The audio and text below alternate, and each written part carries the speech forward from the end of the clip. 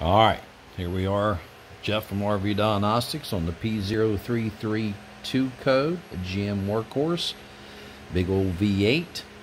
Uh, I believe it's 8.1 liter. Um, so what we got now is we're on bank two. Remember the other video, I think the second video, showed you how a good one from bank one was working. I believe it was a dark blue wire key on engine off DC voltage was like 13.7 millivolts 0.013 something like that. And now we're on bank 2 which is a light blue. Bank 2 is on the passenger side of the engine.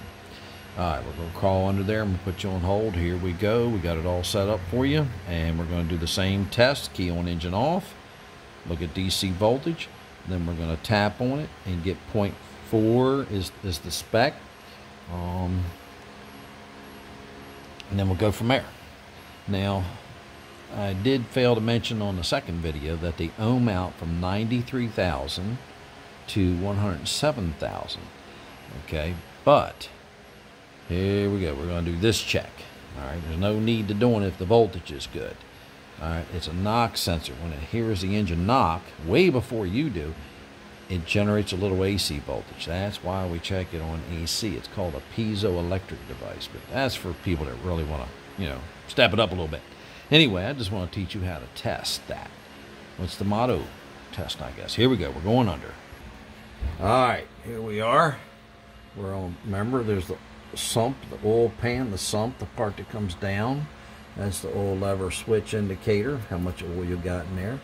That's the knock sensor right there, that little silver can. We're on the light blue wire. We're hooked up to a voltmeter, okay? Right there, it's on DC right now. Remember the flat line with the little dots? And it's 13.8, it's 13.7 on the other side. So now, we're going to switch it over to AC voltage, right? Okay, which is down one.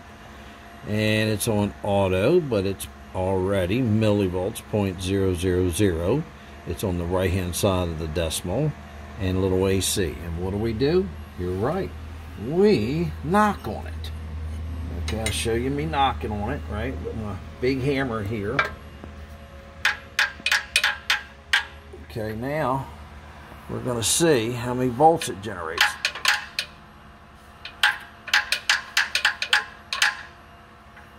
hold on here. I'm gonna try this with a different hand because it ain't working. Alright, here, here we go. there, is it a little bit better? Remember, I'm by myself up under here, banging on stuff. Gotta be careful because the starter's right there. Big old positive wire, little spark stuff welded. There you go. Ready? There's our 400. Look at that, 500. All right, so it is working, folks. Ready? We'll do it again. I want the 0.6. So that's working. All right. That's working. All right. Now, we got to go back up to the computer. Whoo! We're going to hook that up, and we're going to see what's going on, if it's making it all the way up there. That's another video. We'll figure out what's wrong with her. Somebody already changed the mode uh, knock sensors on this side. Blah, blah, blah, you know. There you go. All right, thank you. This is Jeff from RV Diagnostics. I'm going to get out from under this uh, W2224 chassis with the GM big old Chevrolet engine. There you go. All right, take care. What's the motto? Test not gas. What's the other famous saying? Safe travels. Till we meet again. Where are we going to meet? At the campgrounds, fueling station, on the road. I wave at everybody. I don't care if you're pulling a pop up. Heck, if I see you with a tent or something, you know, now they got them things that go on top of Jeeps that pop up and let out. It's a big old tent. Pretty neat.